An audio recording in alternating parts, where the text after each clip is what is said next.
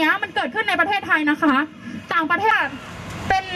เพศอะไรก็แล้วแต่นะคะ พวกเพราะว่าโรงเรียนคือสถานที่ที่ปลอดภัยนะคะ มาต่อสู้กับพวกเรานะคะ เราไม่มีวันทิ้งกันแน่นอน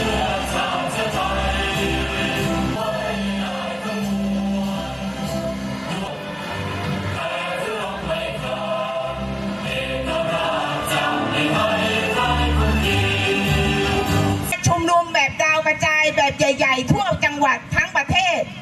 ได้มีการพูดคุยกันแล้ว อยากจะให้พี่น้องสระบุรี ได้เตรียมตัว เตรียมใจ เตรียมกำลังเตรียมความพร้อม ช่วยกันสื่อสารว่าเราต้องออกมา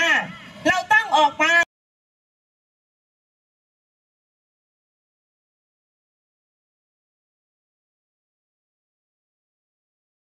ไม่ใช่นะครับ ต้องออกจากรัฐบาลชุดนี้ใช่เปล่า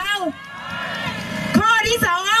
เราบอกต้องทำรัฐธรรมนูญใหม่ โดยที่มีการรัฐธรรม นูญต้องยึดโยงกับประชาชนโดยมีสสรที่มาจากการเลือกตั้งใช่เปล่า